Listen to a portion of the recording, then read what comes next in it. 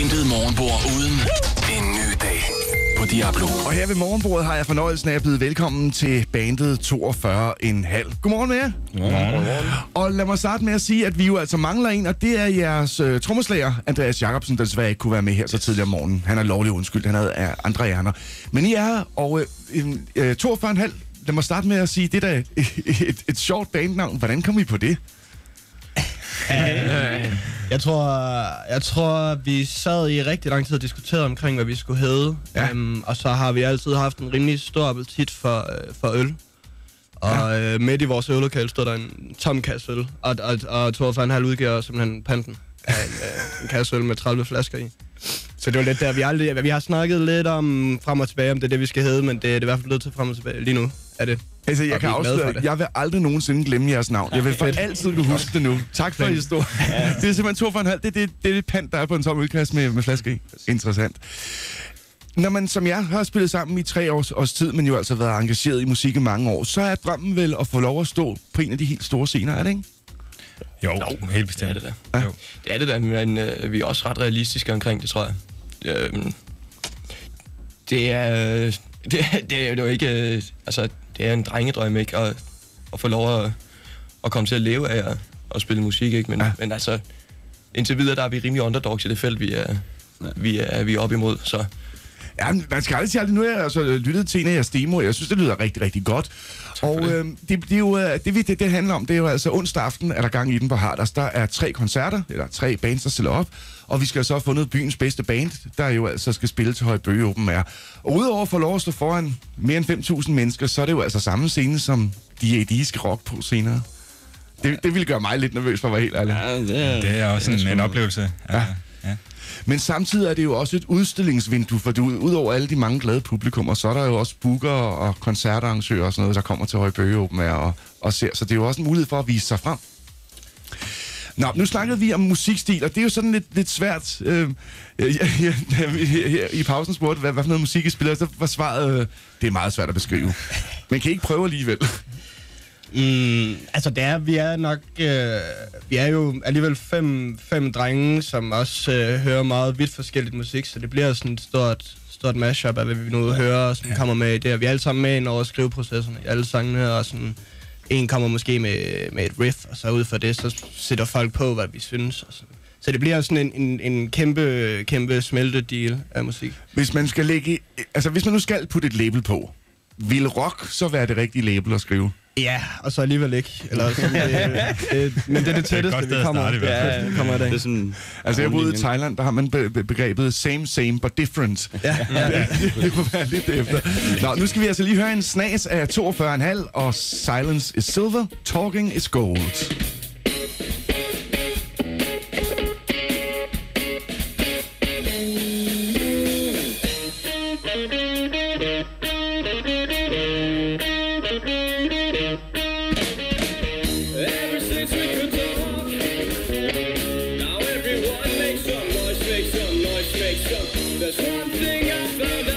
Ja, det lyder jo altså rigtig godt. Rock og rull 42,5 her, Silence is Silver. Og der er jo fest og farve over det her musik. Er det også det, I kommer til at levere på Harders onsdag aften?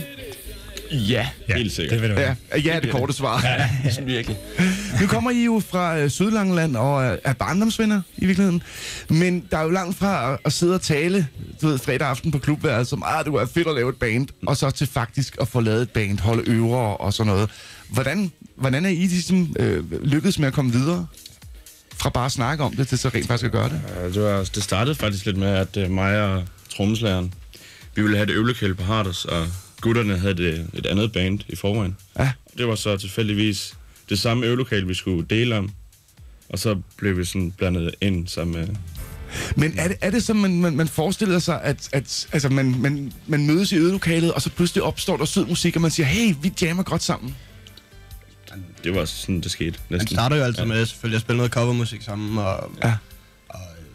Så finder man, altså så kommer man ud og spiller til nogle havefester, eller til mormors fødselsdag, eller sådan et eller andet. Ja. Og, øh, og så, når man så engang bliver træt af at stå og spille Beatles, så, øh, så, så begynder man på at prøve at lave sit eget. Det, det er altså helt øh, standard. Hvor, hvor langt er der fra, at man selv synes, man spiller godt, til man tør sige ja til at stå på store scener? Det kommer an på, hvem du spørger os, tror jeg. Det kan godt Der er nogen, der er mere selvkritiske end andre, kan jeg. Ja. Jeg tror, for, for nogle af os tror jeg faktisk ikke, der er så langt fra, øh, fra, fra, fra, fra, at vi selv synes, det er godt til, at vi synes, at andre burde synes det samme. Nej. Til gengæld, så, så, så, så er det sgu svært at få andre til at synes det samme. Et af de bevidste valg, jeg har gjort, er ikke at spille covers. I startede med at, at, at spille kopinumre. Det valgte I så at sige, nej tak, hvis vi skal ud og spille, så skal det være vores eget materiale. Det er nok et klogt valg. Men det, øh, men det er nemmere for job, hvis man er ude og spille Substar is, ikke? Ja, helt bestemt. Ja. Alligevel så holder I fast i, at I vil have lov at spille jeres eget musik. Hvorfor? Altså, vi vil, igen, vi vil jo ikke, vi vil jo ikke øh, sådan mærkes som, som coverband, eller sådan igen, som, som vi snakker om i pausen, så, så når du spiller covermusik, så er det jo netop, at du ender ude i en, i en baghave i Ørbæk, og står og spiller covermusik. Ja. Og at, at Det lyder som et ret konkret eksempel. ej, det var ikke en baghave, det var faktisk en, en sal. øhm, Men det er simpelthen det her med at, at stå ud med noget, der er sit eget, så man kan blive genkendt for og husket for. Ja, så venter man da på sådan en chance, som den vi har fået nu. Øh, det er jo lige præcis det, vi har gået og ventet på, fordi vi spiller sgu ikke særlig mange koncerter. Øh, jeg ved ikke, om det er, fordi folk har misforstået et eller andet af det, vi spiller, men, men det, det, er jo, det er jo lige præcis sådan en chance, at vi har gået og ventet på, ikke? At, at der lige pludselig er nogen, der, der genkender det som, som bedre end standard. Men uden at lyde for gammelfagt, ikke? Altså der, hvor jeg er lige nu, det er jo det perfekte sted. Det er jo det der sweet spot, hvor hvis man har lidt is i maven og tålmodighed, så lige om lidt, så er man, så er man opdaget. Måske. Måske. Måske. ja, det, det, det, Tålmodigheden er ingen problem. Det er det med is i maven, der ikke øh, går så godt. Når I skal spille på Harders, så er det jo altså noget med at vælge det helt rigtige, fordi øh, hvor lang tid skal I egentlig spille, har I fået det, fået det? Vi skal spille tre numre. Tre numre bliver det til. Ja. Og øhm, nu hører vi nummeret her i baggrunden, Silence is Silver. Bliver det et af de numre, I spiller? Det Nej. kan det ikke. Nej. Vil I ud med, hvad I... øh, Eller er det, er det sådan noget før en konkurrence? Det er sådan et... altså, der er ikke nogen, der kender det.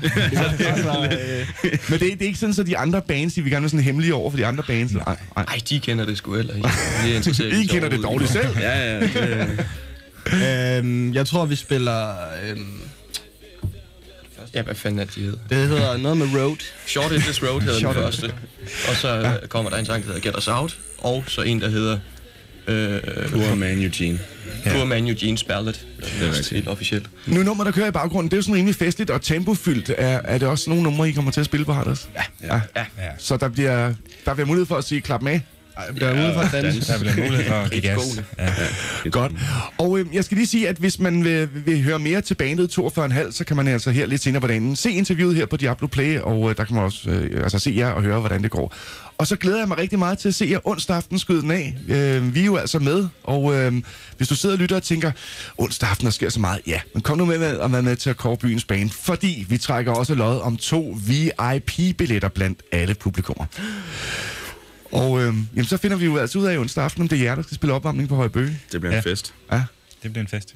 Nu har, nu har jeg jo, altså jeg er i studiet i dag, og de to andre bands de kommende dage, så jeg vil lade være med at have nogle favoritter, men at sige, det jeg har hørt indtil videre lyder rigtig godt, så jeg vil gerne ønske jer rigtig hjertelig held og lykke. Du må gerne have en favorit. Hvis det er også. Altså.